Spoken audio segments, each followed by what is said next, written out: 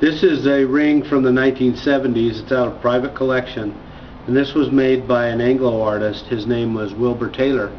And this was a group of men that had a shop set up here in Bluff down by the Dairy Cafe.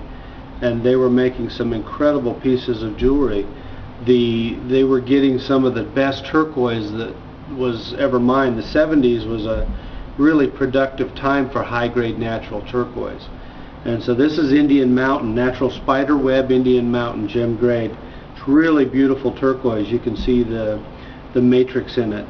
And what it what it is is it has 14 karat gold here on the shank and on the bezels and on the leaves and then on the back they've used sterling silver which in the 70s um, gold was fairly reasonable but this is not unusual for this type of jewelry you would see a gold and a silver mix. Anything that was visible, you saw they, they used gold, and then on the back plate they just uh, used silver because it was less expensive, but it turned into a classic type of jewelry. It's uh, it's kind of interesting to see this type of thing now because you can actually date, put a period on the on the time it was created just by how it's made. But as I said, spectacular turquoise, very nice uh, goldsmithing and silversmithing, and Wilbur Taylor was the artist.